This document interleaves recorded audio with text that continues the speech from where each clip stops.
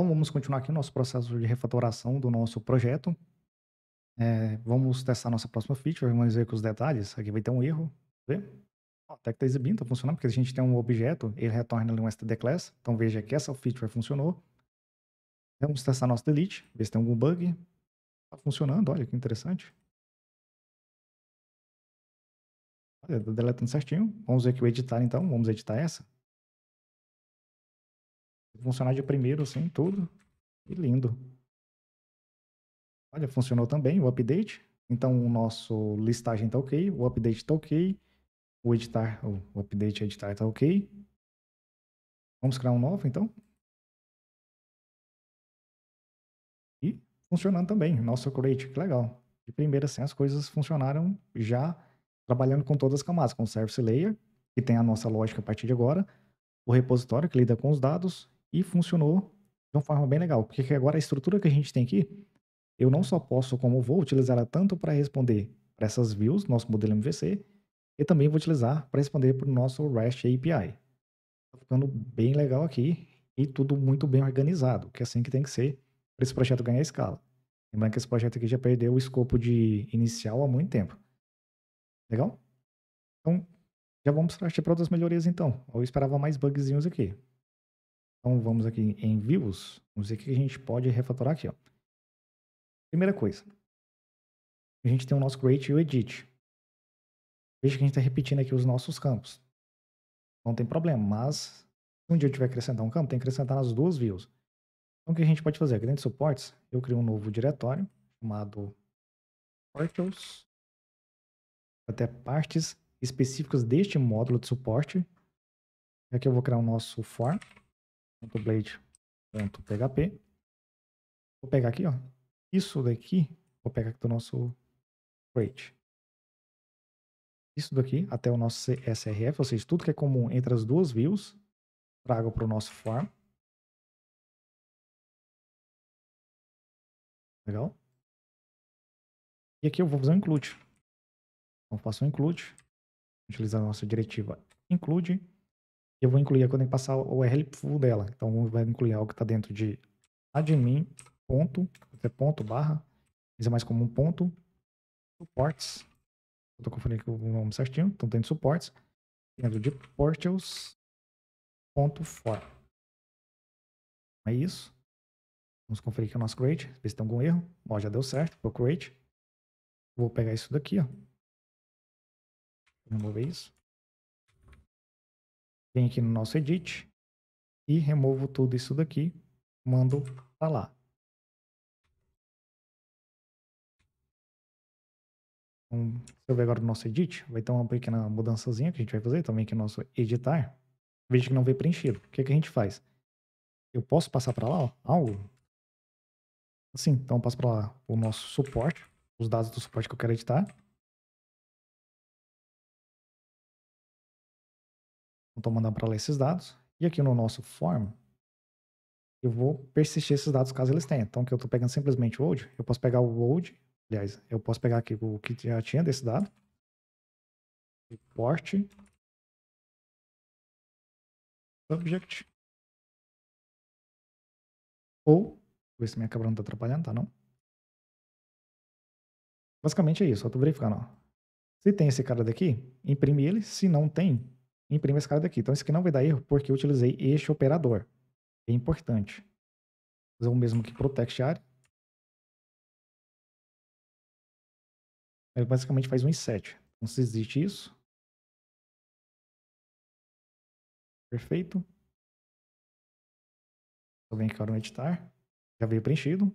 E se eu ver aqui no nosso cadastrar, não tem nenhum erro. Eu coloco uma coisa aqui, vamos ver se ele permanece preenchido. Permaneceu. O molde ali continua funcionando. Então a gente já dá uma refatoração boa. E eu já vou fazer, aproveitar que ainda dá tempo, é, vou fazer uma refatoraçãozinha para mandar esses alerts, tá duplicado tanto no nosso create quanto no edit, para um componente. Existem algumas estratégias de componente onde você pode criar uma class aqui. Vou mostrar como é que funciona. Dá um Ctrl J, estou dentro do meu container app. Vou dar um PHP Artisan. Opa, PHP Artisan. Aqui no Make a gente tem a seção de component. Então ele cria uma view component e uma class component. Eu acho bem estranho você criar uma class para ter um component, porque depende de muitos casos você começa a misturar HTML com views. Eu tenho uma certa resistência a isso. Eu vou mostrar algo que eu acho interessante, que é esse aqui, ó. Vou utilizar isso mesmo como comentário, para a gente não criar... A gente criar isso aqui de forma mais automática. Então, PHP artisan make dois pontos. Component. Vou passar aqui o menos help. Esse menos help tem todos os comandos que você tem ali. Então, você está em dúvida, quais são as opções para você pode passar? Passa o nome do comando, menos help. E aqui, ó, veja que dão várias opções. Então, passo o nome do component, realmente o nome do component, que é aqui a class e um arquivo de view. E que component? Basicamente são pequenas partes que eu posso reaproveitar, que é o que a gente vai fazer agora. Porque esse mesmo alert ali para exibir os erros de validação, eu vou utilizar em vários módulos do nosso projeto, bem comum. Porém, nesse caso aqui, ó, eu vejo que eu vou utilizar essa opção, menos menos view, para criar apenas um nossa view criar um componente de forma anônima, que é o que eu prefiro. Particularmente eu gosto assim. Ficou mais organizado. O que eu vou passar o component, o nome do nosso component vai ser alert. E aqui eu passo menos menos view.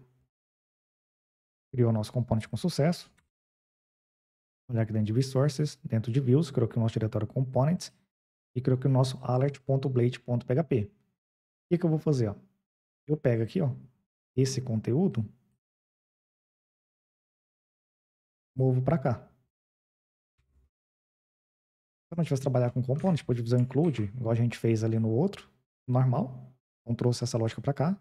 Eu posso deixar uma class default, por exemplo, class alert, alert danger. Posso trabalhar dessa forma. E como que eu utilizo esse componente que eu acabei de criar? Bem simples.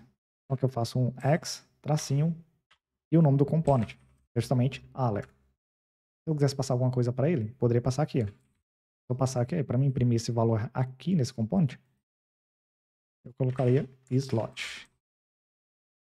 Simples assim. Desse jeito aqui já está ótimo para a gente. Então a gente tem aqui todos os componentes globais. Eu vou utilizar em várias partes do meu projeto aqui. Então a gente já tem o nosso alert. Toda vez que eu quero utilizar o alert, faço dessa forma aqui. Como é algo bem simples, não estou passando nada para lá, posso fazer assim, ó, já fechar a tag aqui. Quem trabalha com Vue.js é bem comum isso mais enxuto, assim. Então faço isso aqui no nosso edit, removo isso aqui do nosso create. Veja que a nossa view está bem mais enxuta a partir de agora.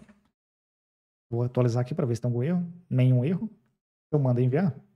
Veja que funciona normal as nossas mensagens de erro. Agora, toda vez, é, se eu quiser pegar um estilo, colocar uma classe, tudo relacionado à parte alerts, está aqui no nosso component. Então, ficou muito mais organizado.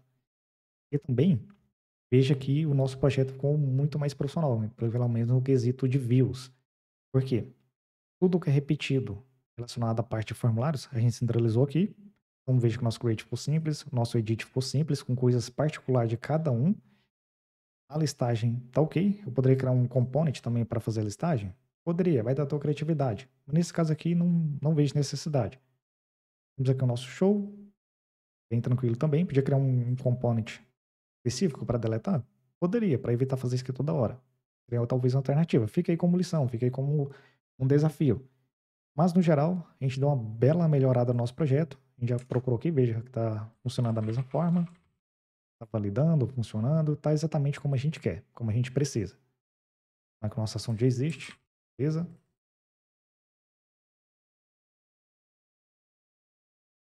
E, legal. Então, veja com isso a gente conseguiu é, fazer a nossa operação de crude, porém agora muito mais organizado, muito melhor.